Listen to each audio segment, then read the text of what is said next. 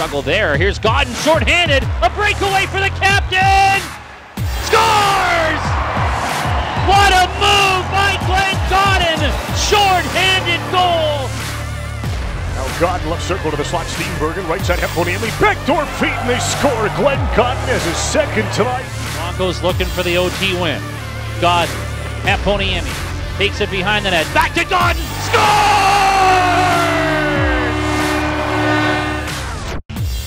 Skates it into Kelowna territory. Left wing side, trying to center it, bounces back. Savin Kara, back for Gawdin, scores! Now Steenbergen near side. Away he goes. A nice pass for Patterson. Patterson walking in. Rebound right there. And Gawdin is in on the attack. Gawdin on the far side up top. Sissons now near side. Gennaro. His shot in front. It's tipped. And Gawdin. What a tip there. It Gets it there for Gawdin.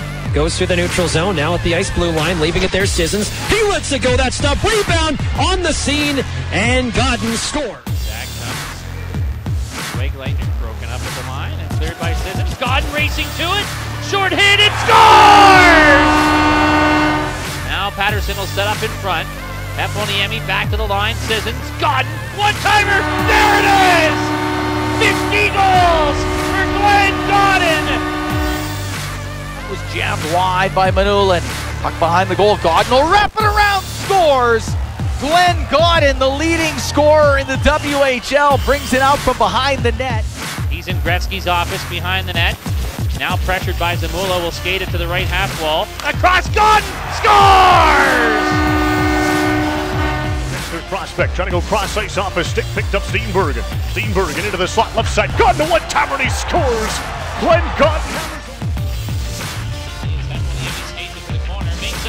Schulthouse, cuts out, stopped by Wilms, it's in! Glenn Gawdin scores! Power play goal for the Broncos!